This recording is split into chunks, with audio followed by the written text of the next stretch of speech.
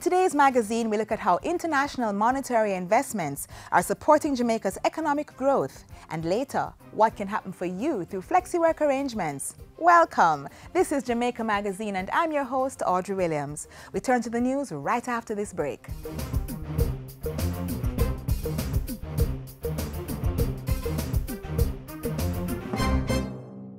The JIS Heritage Poster Competition is here again. If you are an artistic teenager, the JIS Heritage Poster Competition is just for you. All registered secondary school students are eligible to enter. All you have to do is this. Complete the entry form on the JIS website, jis.gov.jm. Then create a poster using images provided in the picture resources on the JIS website. And the topic? A moment in the life of a Jamaican national hero. Ensure that your poster is no larger than 11 inches by 17 inches and keep a copy of your poster. Posters will be judged on interpretation of the topic, originality, and presentation. Now for the submission details. Upload computer-designed posters using a cloud storage service such as Dropbox, SkyDrive, or Google Drive. Mail or drop off illustrated posters at the JIS head office or Montego Bay office. Deadline for submission is Saturday, October 31, 2015. So come on, unleash your creativity and win lots of prizes. For more information, contact the Jamaica Information Service at 926-374-026, extension 2137, 2023, or email heritageposter at jis.gov.jm.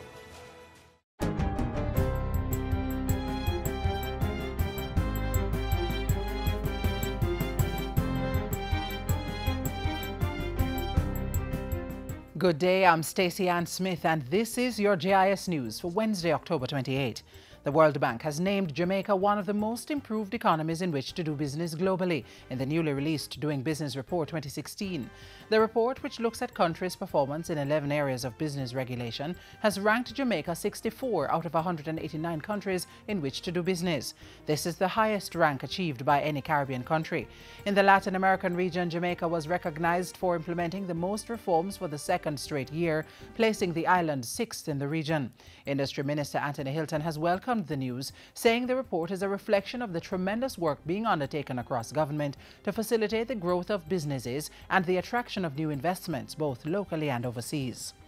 A special unit is being set up in the Ministry of Health to monitor both private and public sector facilities for newborn babies. This is in keeping with the United Nations Every Newborn Action Plan, a call to action 2014 the health minister told Parliament that the unit would be headed by neonatologist Dr. Michelle Ann Richards Dawson and include doctors Jacqueline Bisasor McKenzie and Simone Spence, with support from the ministry's epidemiologist Dr. Karen Webster and the chief nursing officer.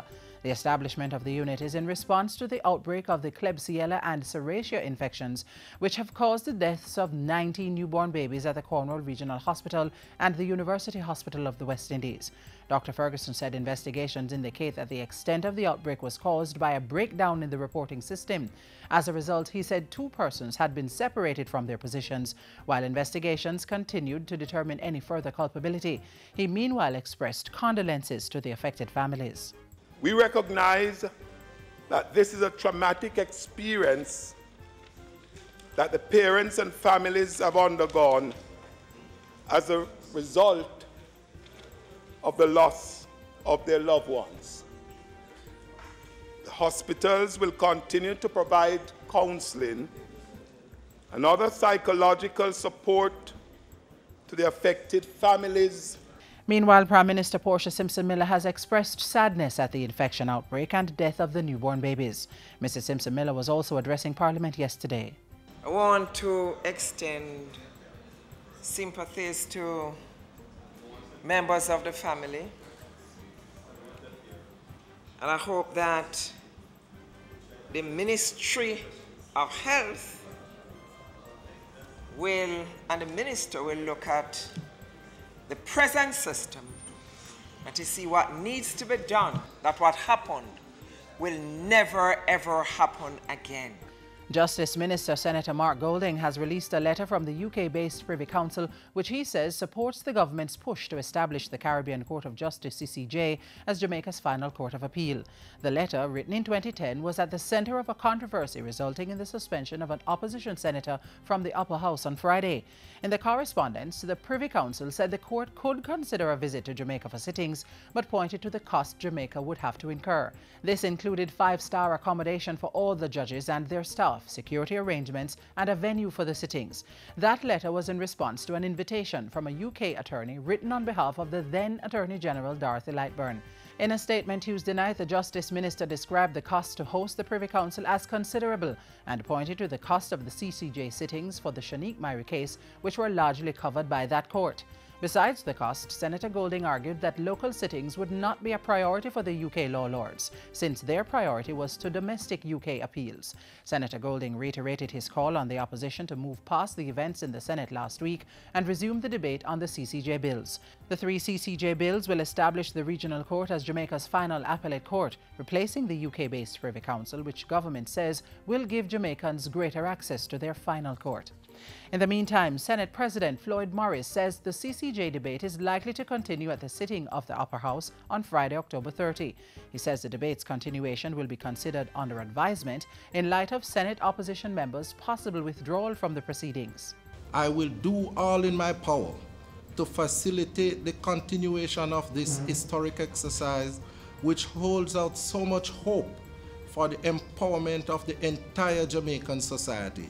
The Senate President was speaking at a media briefing at Gordon House on Tuesday to address the debate and his suspension of opposition Senator Marlene Malahoo Forte for her failure to submit a copy of a letter he had requested. Senator Morris said the suspension would be lifted once the senator delivered the letter to his office and the clerk of the Houses of Parliament, either by email or in person.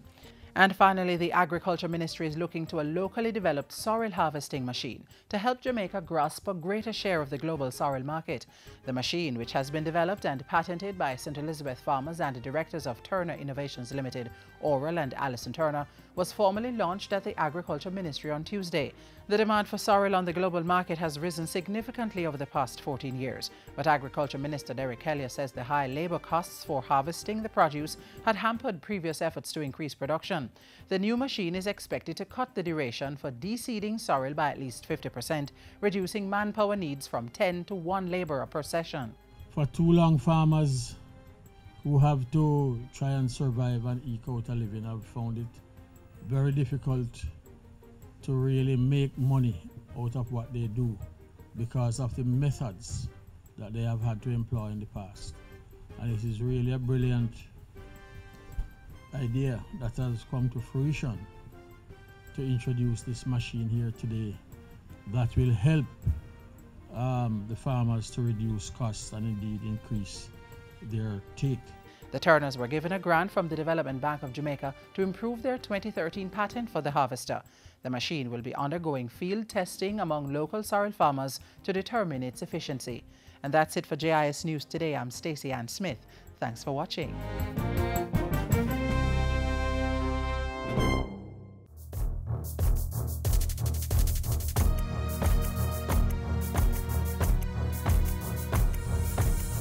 Guns are a significant problem in Jamaica. And that is why we have to move to do something about it. It is in this context that I am now launching a special initiative of the Jamaica Constabulary Force, the Get the Guns campaign. You, the public, can keep illegal guns out of your communities by using all means to inform the police as to how illegal guns are stored and moved within the communities. Download and use the Stay Alert app from the Google Play Store. Call 119-311-811 or the nearest police station. In strategic priority number one, fiscal prudence and pursuit of a credible macroeconomic program, we see how the government is practicing good money management by using financial investments to service debt obligations.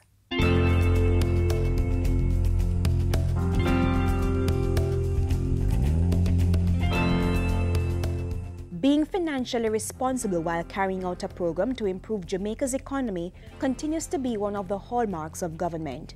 In June of this year, the government had a non-deal roadshow in the United States and Europe to tell stakeholders about Jamaica's progress under the economic reform program and boost investor confidence. That objective was achieved. On July 23, the government raised 2 billion US dollars through a bond offer, the highest ever in a single transaction. This strong interest by the international capital markets demonstrates investors' confidence in Jamaica and specifically in the economic reform program and the various initiatives this administration has already implemented and which it plans to implement in the future. It's not that we are borrowing more money and digging a deeper hole for ourselves. We really borrowed those funds in order to pay off a much larger debt. So what's the purpose of the 2 billion US dollars? Well, 500 million will be used to make government bond payments of 62 billion Jamaican dollars. That's due in February 2016. That payout will give banks more money to lend to individuals and will drive a reduction in interest rates.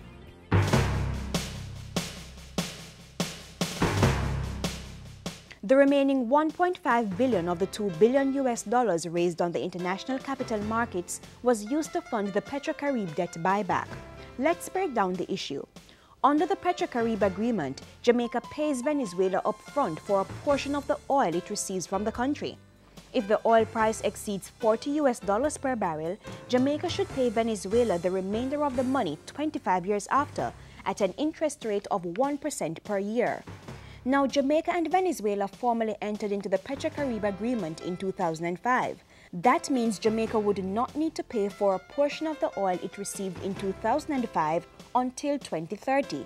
But things happen, and each country has to adjust its economic plans to suit its current needs. So Venezuela said, Jamaica, if you buy back or pay off your debt under the Petrocaribe agreement before the deadline in 2030, you will receive a discount. So we can take approximately one and a half um, one and a half billion US and buy back approximately three billion US of debt from Petrocaribe from uh, Venezuela. So you're really, in a way, buying back the debt pretty cheaply. And so the government took up Venezuela's offer, using the $1.5 billion we spoke about earlier to clear arrears as at December 2014. These transactions which were successfully completed are for and will be to the benefit of the Jamaican people. Here's why. Point number one.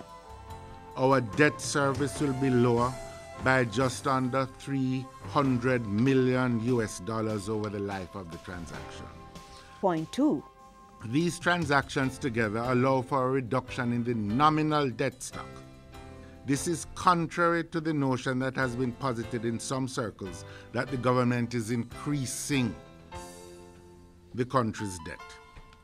Point three relates to the ratio of Jamaica's debt to gross domestic product GDP. This transaction has the effect of lowering the debt to GDP ratio by approximately 10%. And it is going to allow us to achieve the March 2017 debt to GDP target of 127%, 20 months early. So this is a major accomplishment and a major benefit uh, to the country from the Petrocaribe deal. And point four. The reduction in the debt to GDP ratio and the improvement in the country's risk profile means better interest rates, not just for Jamaica, but for all investors wanting to invest in Jamaica.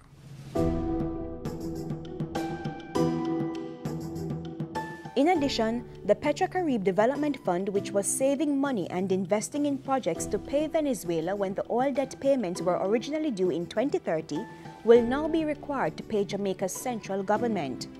The payments from the Petrocaribe Development Fund will allow further the government to improve the services that the government provides. A number of stakeholders have commended the government for the Petrocarib debt buyback. I think that the Petrocarib transaction puts Jamaica very firmly on the path to achieve the 2020 target of 96% debt to GDP. And this is an important uh, milestone in the general uh, um, economic reform program that we have undertaken. And on the international scene, international rating agencies like Standard & Poor, Fitch, Moody's, they will take another look at Jamaica uh, and we may see that they give us a rating upgrade. The International Monetary Fund also supported the Petrocarib debt buyback. We welcome the recent Petrocarib liability management operation. It was a proactive and important step in reducing Jamaica's public debt. The government of Jamaica acting on strategic priority number one, being financially responsible while pursuing policies to improve the economy.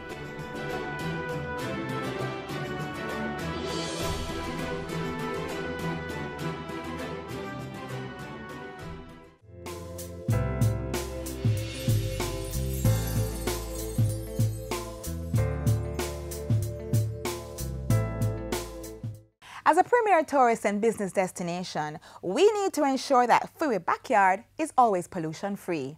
Having a clean and healthy environment can assist in driving a productive business environment. We all need to take responsibility, therefore, for keeping our little corner clean and ensure we not dirty up Jamaica.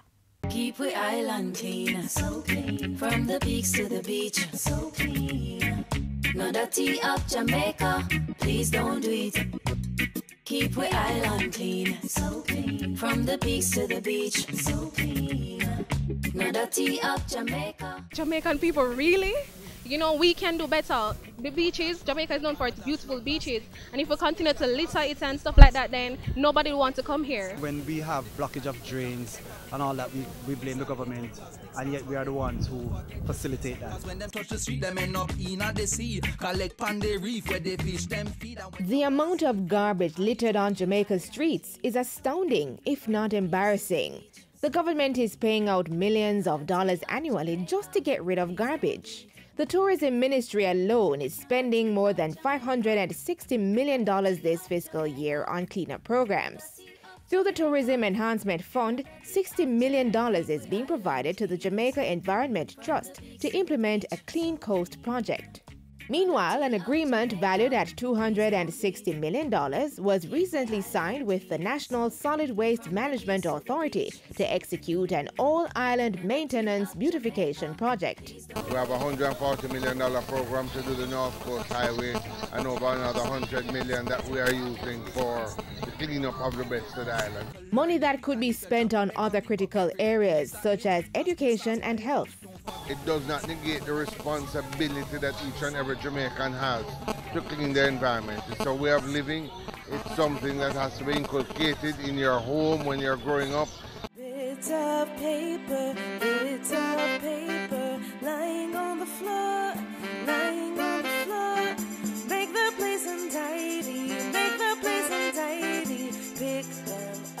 That's why it's always good to see a lot of children here because it's really important for them as well as us adults that we can lead by example and actually show them that we care about our environment and it's important to keep our environment clean as well. Recently, during International Coastal Cleanup Day 2015, it was made evident that Jamaicans are not properly disposing of their garbage. Preliminary estimates show that thousands of pounds of garbage were collected off the nation's coastline during that one day cleanup exercise. Well, the first objective really is to get people to understand that when you throw waste side of the road in Kingston or in a gully, that this is where it ends up. It ends up on the coastline, it ends up in rivers, ends up in the sea, where it is often washed back onto the land by storms and so forth. What is a bit disconcerting for me is the fact that every year we come and having cleaned up so much garbage, picked up so much garbage in one prescribed area, you come back and find actually more garbage. In September each year, the Jamaica Environment Trust organizes the beach cleanup, which is regarded as an environmental education and advocacy activity. Clean up, clean up, clean up,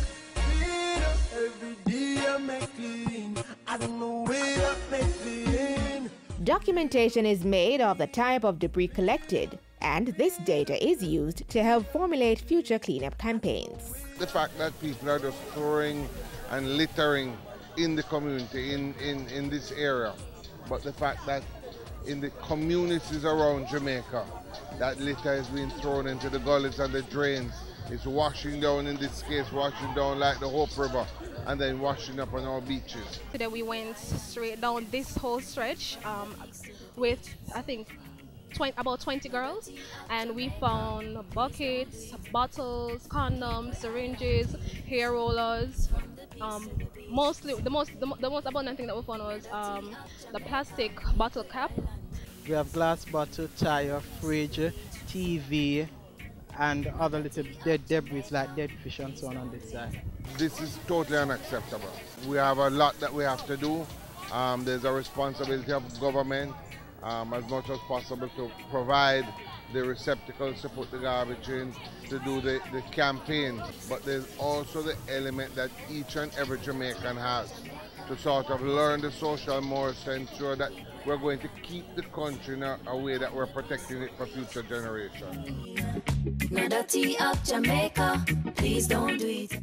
Longing for flexible work hours? Well, the Ministry of Labour and Social Security is ready to give you just that through its new flexi-time arrangement. This means both you and your employer can arrange the traditional 40-hour work week in a way that best suits your needs and that of the organization to which you are employed.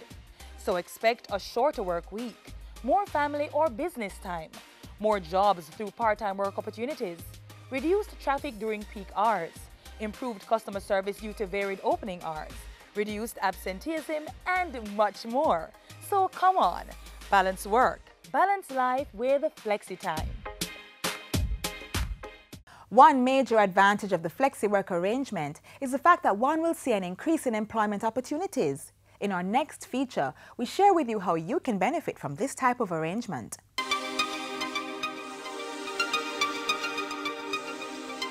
On March 25, 2014, the Employment Flexible Work Arrangements Miscellaneous Provisions Act was tabled in Parliament. It sets out to amend provisions relating to hours and days of work in several pieces of legislation to facilitate the implementation of flexible working arrangements in Jamaica. The end goal? To position the country's labor market to take advantage of investments and other economic opportunities. Flexi work is an alternate arrangement or schedule from the traditional Monday to Friday 9 to 5 working day or week.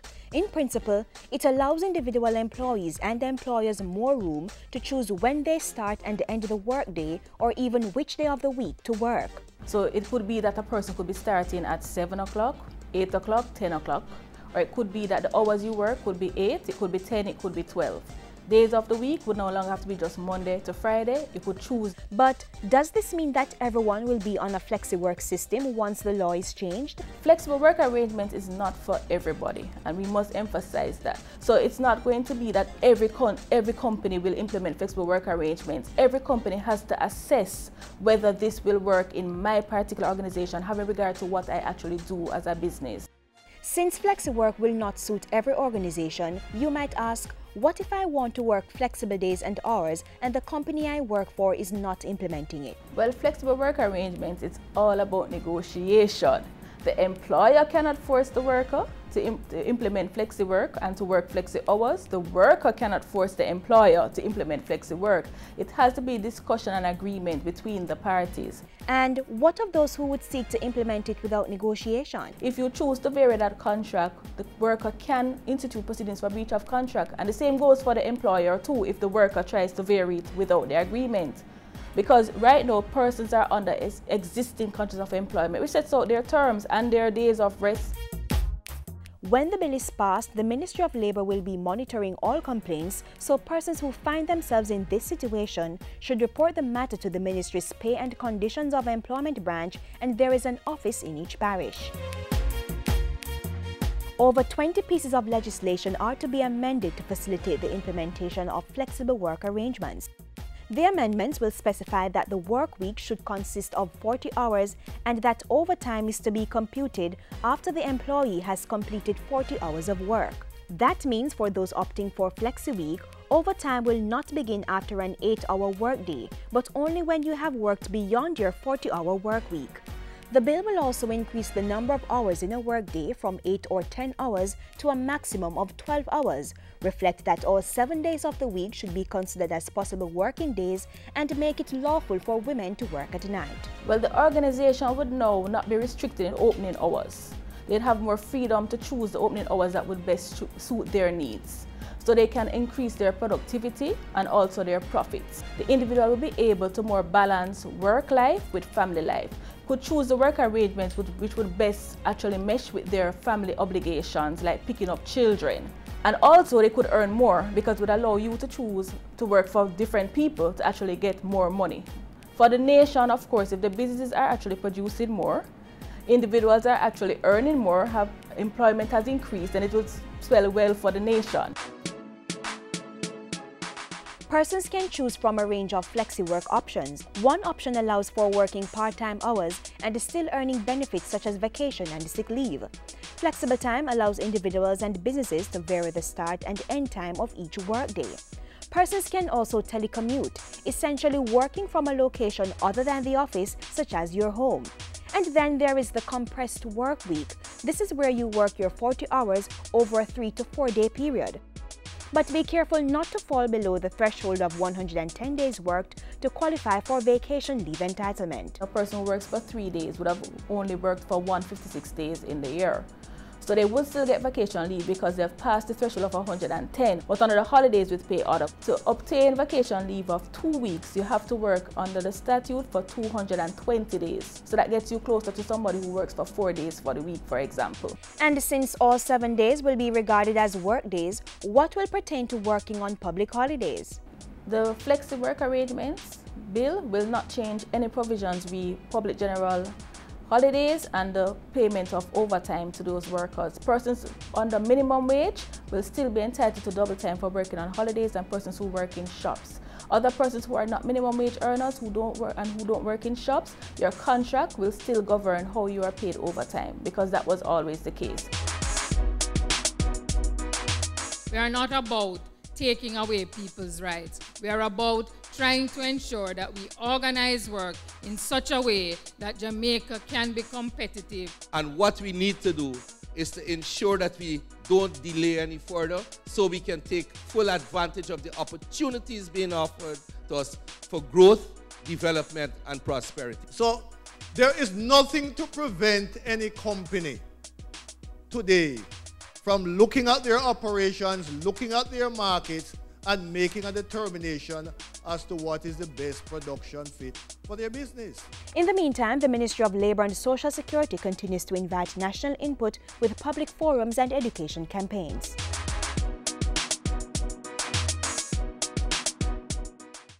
The JIS Heritage Essay Competition is here again. If you're a primary or preparatory school student aged 9 to 12, you may enter. Write an essay on the topic, A Day in the Life of My Favorite National Hero. Ensure your essay is 400 to 500 words. Include a title page and list of references, with JIS being one of the sources. And submit the essay using the application form on the JIS website, jis.gov.jm. Deadline is Saturday, October 31, 2015. So start writing your essay today! For more information, contact the Jamaica Information Service at 926-374-026, extension 2137 or 2023, or email heritageessay at jis.gov.jm.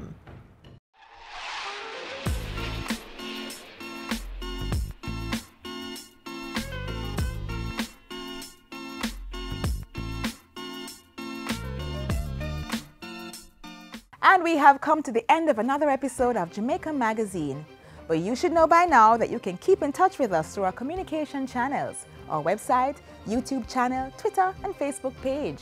Also, take JIS with you wherever you go when you download the JIS News app for your smartphone. I'm Audrey Williams, and I leave you with a quote from Thomas Huxley.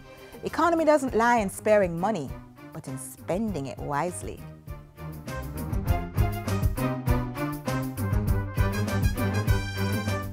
This has been a production of the Jamaica Information Service, the voice of Jamaica.